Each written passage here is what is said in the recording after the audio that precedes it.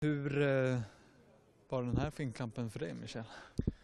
Eh, Den var rolig. Eh, Jag tyckte det var, det var rätt- bra drag på- ifrån publiken idag och det, det är de som gör tävlingen. Eh, När det blir drag och folk hejar och liksom, man har finländarna här som hejar på sina. Det, det är det här som är, det här som är charmen. Det här är ju det absolut roligaste. Och, eh, ja, förhoppningsvis kan vi fylla det ännu mer nästa gång. Men eh, jag är jättenöjd. Jag tyckte vi fick bra stöd och det, det är kul att få avsluta säsongen med ett 8 meters hopp i godkänd vind.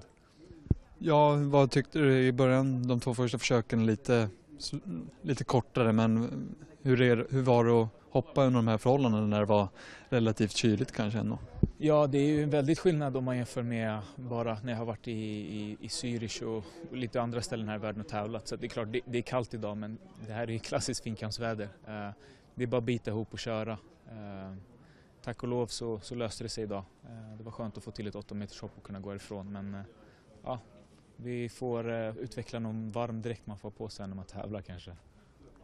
Vad, vad kän- kände du att du kunde ha, ha mer i dig eller var det här ditt max du kunde hoppa idag? Eller?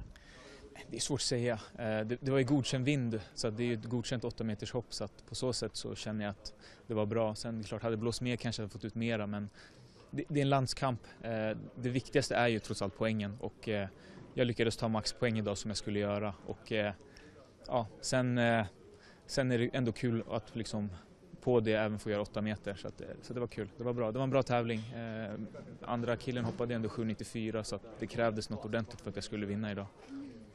Eh, nu när det är säsongsslutet här, hur, hur tycker du säsongen har varit i stort?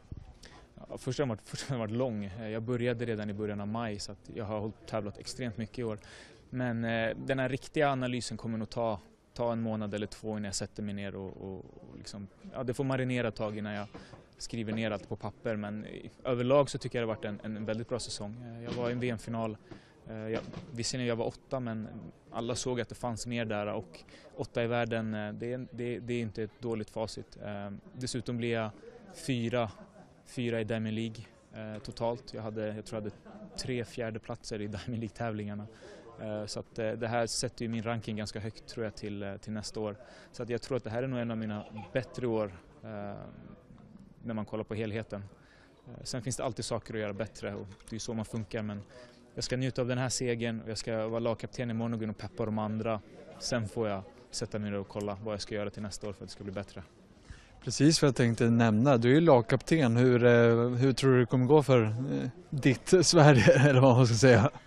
Ja, det, det kommer gå bra. Det kommer gå bra. Eh, min, eh, det här kanske låter fel, men jag hoppas att det blir spännande hela vägen in. Det, det gör det roligare för allihopa. Så att jag hoppas att det, det blir en, en tuff kamp imorgon där alla kämpar. Och, ja, det, jag försöker bara vara med och stötta dem och det är många debutanter som aldrig varit med förut och jag försöker vara med och hjälpa dem lite och, och hålla koll på dem så att de, de går till rätt, eh, rätt bana och, och rätt startblock och allting vad det är. Men, eh, Nej, men det, ja, det, det ska bli kul. Jag, hopp, jag tror att vi kommer ta dubbel, jag hoppas det. Men jag hoppas att det ändå blir en kamp så att det, det blir roligt för båda länderna. Så att, vi, ja, så att eh, finländarna känner till nästa år att de eh, kan ge oss lite, lite, en liten match i Finland. Hur är du som lagkapten då? Eh, ja, det får du nog fråga andra om. Men eh, Vad tror du då? Jag tror jag är ganska bra. Eh, jag är ganska, ganska snäll. Eh, ganska, ganska, jag, stöttar, jag stöttar väldigt mycket. Eh, jag tror att om du frågar de flesta i landslaget så är jag nog ganska schysst av mig. Men eh, ja, jag är rutinerad, det är väl det man är i det här gänget. När, det är, när de flesta är födda på slutet av 90-talet. Så att, eh, i, min, I deras ögon är jag kanske en dinosaurie men ja.